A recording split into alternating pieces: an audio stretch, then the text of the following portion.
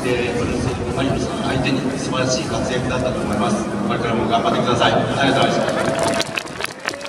安藤様ありがとうございます。それでは写真行いますので、はい、にこやかにお願いいたします。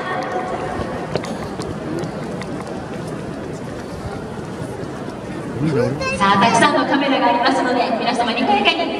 はいそれでは安藤様ありがとうございました。さあそれではマウントマッチに輝きましたお二人にお話を伺っていきましょう。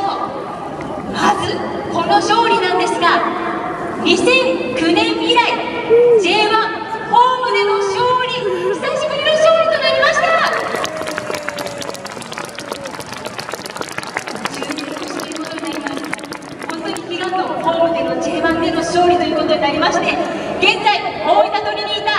3位に浮上しております。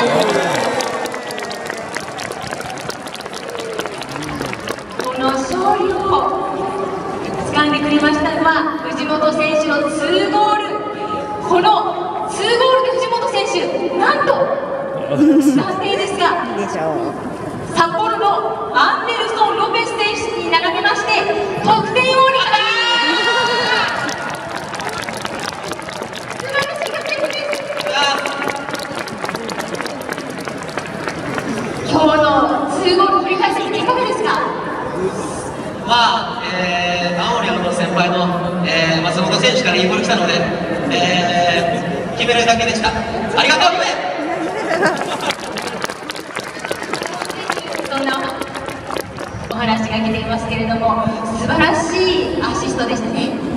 まあ、前半1本、まあ、のにチャンスあったんで、2本目決めてくれないまあ、けど、ちゃんと決めてくれたんで、本当に後輩のおかげです。ありがとう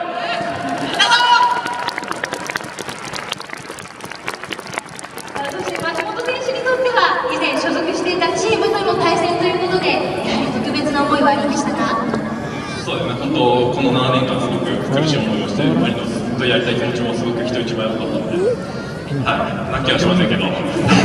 まあ、一つ、結果を残せたんで、まあ、良かったと思ってます。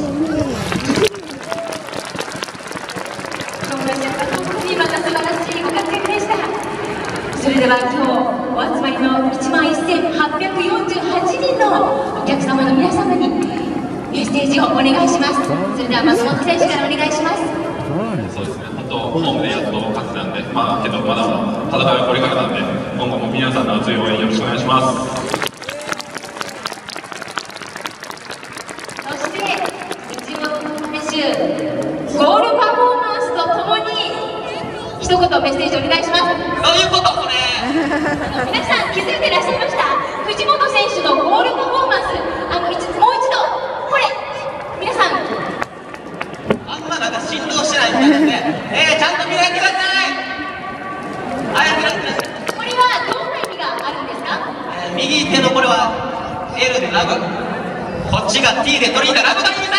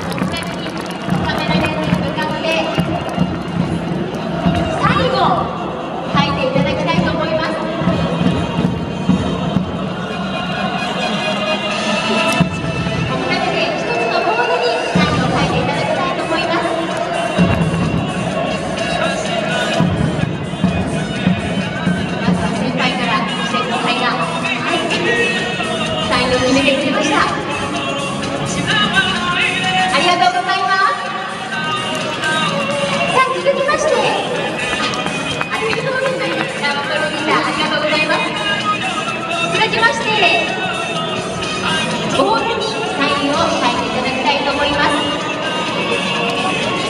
お二人に一つのボールにサインを書いていただきまして